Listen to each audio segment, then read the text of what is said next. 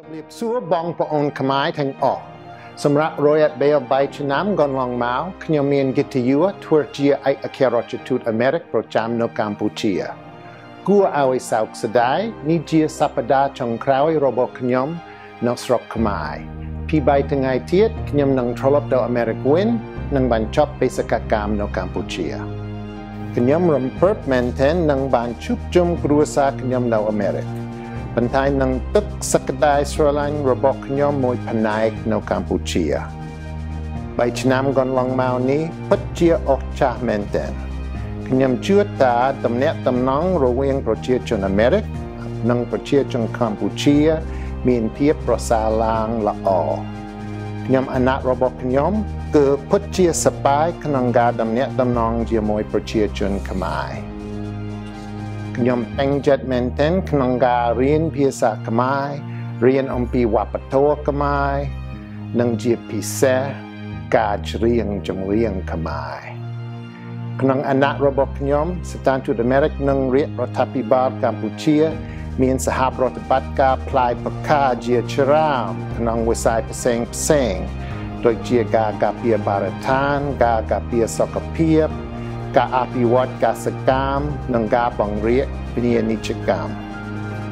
និយាយតាមត្រង់ទៅក្នុងអាណត្តិរបស់ខ្ញុំមានការលំបាកខ្លះខ្លះដែរមិនមែនល្អទាំងអស់នោះទេប៉ុន្តែយ៉ាងហោចណាស់ការលំបាកតែជាងក្នុងឆ្នាំកន្លងមកខ្ញុំមានការកោតសរសើរចំពោះយុវជនចំនួនក្រោយ ជាពិសេសចំពោះភាពឆ្លាតវៃរបស់ពួកគេសក្តាយសង្គមរបស់ខ្ញុំ គឺប្រជាជនកម្ពុជាគ្រប់ចំនួនឆេះកាពីបារតានឆេះកាពីវប្បធម៌និងប្រវត្តិសាស្ត្ររបស់កម្ពុជា និងសហការគ្នាដើម្បីកសាងប្រជាធិបតេយ្យនិងសេដ្ឋកិច្ចឲ្យកាន់តែរឹងមាំ លាហើយកម្ពុជាខ្ញុំសង្ឃុំថាយើងអាចជួបគ្នាម្ដងទៀតពេលក្រោយអរគុណច្រើន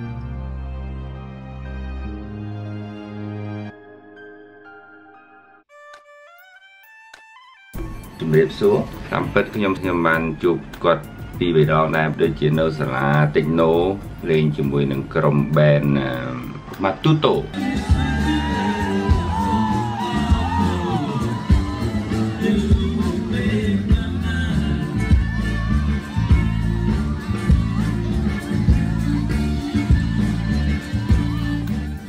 ប៉ុន្តែអ្វីដែលខ្ញុំចាប់អារម្មណ៍ធំបំផុតនោះគឺខ្ញុំគិតថាគាត់ជាមនុស្សពិសេសគាត់ជាមនុស្សដែលចំណេញប្រទេសខ្ញុំគាត់ជាមនុស្សដែលផ្លាស់ប្ដូរជីវិតមនុស្សបានច្រើនបើយើងចាប់អារម្មណ៍អំពីការនិយាយភាសាខ្មែររបស់គាត់យើងមានមោទនភាពបាត់ទៅហើយមែនទេហើយបើសិនជាយើងបានធ្លាប់ឃើញគាត់និយាយជាមួយគាត់ផ្ទាល់ខ្ញុំជឿថា មាន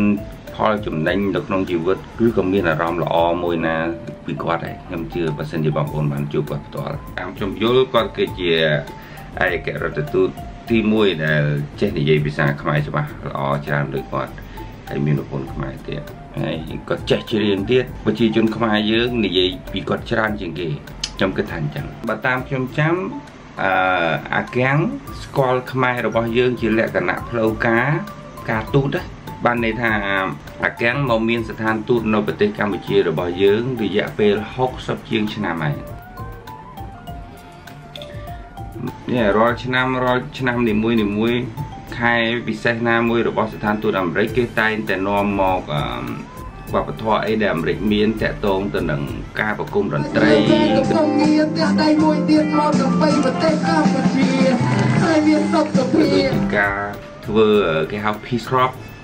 និយាយទៅ volunteer ជាលក្ខណៈមកជួយ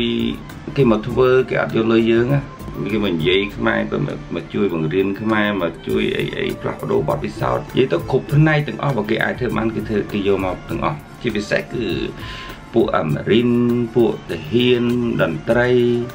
អឺម៉ាទូតូបែនអានឹងខ្ញុំកាលនេះខ្ញុំចូលរួមធ្វើ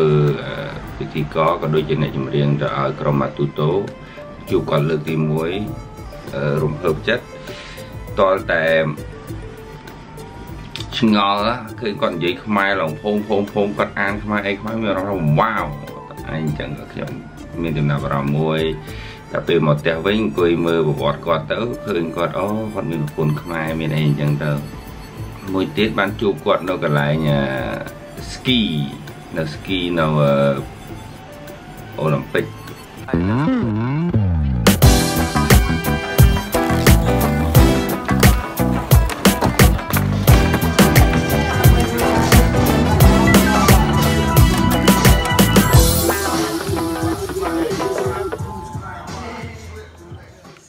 គាល់គាត់ជារឿងមួយប៉ុន្តែចំណុចដែលធ្វើឲ្យខ្ញុំចាប់អារម្មណ៍ចង់ react ទៅដល់ការលារបស់គាត់រយៈពេល3ឆ្នាំនៅកម្ពុជានោះគឺទី1គាត់ចេះខ្មែរទី2គាត់បានមកធ្វើការនៅខ្មែរទី3គាត់មានប្រពន្ធខ្មែរកូនគាត់នឹងឆ្លងខ្មែរ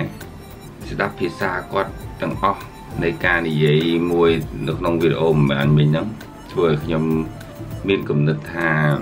នេះជាចំណុចពិសេសនៃ អាកាំងជាទូទៅជាទូទៅដែលខ្ញុំចំណាប់អារម្មណ៍ល្អរបស់ខ្ញុំទៅលើអាកាំងគឺគេមានចំណុចជាគេហៅថាការទូតការនិយាយការទូតគួរឲ្យខ្ញុំមានអារម្មណ៍ថាគួរតែរៀនអញ្ចឹងគួរតែចេះអញ្ចឹងព្រោះខ្ញុំចាប់អារម្មណ៍ទម្លាប់មួយរបស់អាកាំងលក្ខណៈការទូតឬក៏លក្ខណៈមន្ត្រីរាជការជាទូទៅខ្ញុំមិនដែលឃើញប៉ូលីស អាមេរិកឈរនិយាយគ្នានៅក្រៅដែលយើងជិះកាត់ឃើញមើលទៅក៏អត់ដែរឃើញបលិសព្រុញគ្នាលេងឈរហើយសាច់ហើហើហើពុករៃប្រហុយបំភើយវាជាចំណុចពិសេសមួយដែលធ្វើឲ្យខ្ញុំចង់ share ជាមួយនឹងបងប្អូនហ្នឹងបើសិនជាចាប់អារម្មណ៍គឺគាត់ផ្ដាំណាគាត់បន់ឲ្យយើងចេះស្រឡាញ់គ្នាចេះការពារបរិស្ថានចេះការពារវប្បធម៌និងប្រវត្តិសាស្ត្ររបស់កម្ពុជា សម្រាប់ខ្ញុំខ្ញុំមើលទៅថាការនិយាយរបស់ខ្មែរយើងដូចអានច្រើនជាងលក្ខណៈចេញពីចិត្តមិនដឹងអាហ្នឹងខ្ញុំមិនដឹងថាមកពីអីទេប៉ុន្តែសម្រាប់ខ្ញុំខ្ញុំមានអារម្មណ៍ថាអញ្ចឹងហើយខ្ញុំធ្វើការជាមួយគាត់ប្រហែលជាច្រើនណាស់មិន4 10ក៏ច្រើនជាង10ច្រើនមែនតើក្រុមតន្ត្រីផ្សេងផ្សេងដែលគាត់តែងទៅនាំមករាល់ឆ្នាំហើយកាលហ្នឹងខ្ញុំតែងតែធ្វើយើងបទពិសោធន៍របស់ខ្ញុំជាមួយនឹងស្ថានទូតអាមេរិកគឺសម្រាប់ខ្ញុំខ្ញុំមានមោទនភាពដែលបានធ្វើការជាមួយនឹងស្ថានទូត ជាពិសេសក្រុមការងារហើយដល់ពេលប្លែកមកជាមួយនឹងគាត់ចេះខ្មែរហើយដំវាលៀមគាត់ចេះខ្មែរអញ្ចឹងទៀតវារត់តែប្លែកអញ្ចឹងយ៉ាងណាមិញខ្ញុំគិតថាបងប្អូនខ្មែរយើងដែលបានជួបអាដាមឬក៏លោកកន្ទាវអឺខ្ញុំជឿថាបងប្អូនប្រកាសជាមានអារម្មណ៍រីករាយរំភើបសឹងតែរំភើបជាងខ្ញុំទៅតាមមើល ជាពិសេសគឺសិស្សយើងនឹងគឺបានចូលស្ថានទូតបានច្រើនណាស់ចូលធ្វើកម្មវិធីផ្សេងផ្សេងអញ្ចឹងយ៉ាងណាមិញបន្ទាប់ពីបានទស្សនាវីដេអូរបស់អេដាមលាកម្ពុជាក្នុងប្រហែលថ្ងៃទៀតនេះបើសិនជាជីវិតខ្ញុំ ពេលដែលធ្វើការអីមួយបានចេះរៀបចំនិយាយបានល្អដោយអេដាមលាកម្ពុជាឬក៏សេចក្តីស្រឡាញ់អំពីកម្ពុជាអញ្ចឹង គឺខ្ញុំពិតជាមនុស្សពិសេសវីដេអូនេះនឹងក្លាយជាអនុស្សាវរីយ៍មួយធ្វើឲ្យខ្ញុំចង់ចាំថាអេដាមជាមនុស្សសំខាន់ក្នុងដួងចិត្តខ្ញុំហើយសង្ឃឹមថាភាពល្អរបស់អេដាមស្ថិតនៅក្នុងជីវិតខ្ញុំនិងគ្រួសារខ្ញុំរហូតជូនពរឲ្យអេដាមសុខសប្បាយសុខភាពល្អជាពិសេសមានសេចក្តីសុខនៅក្នុងរង្វង់គ្រួសារអេដាមនិងគ្រួសារទាំងមូលរបស់អេដាមជូនពរអេដាមសុខសប្បាយជម្រាបលាពីកម្ពុជា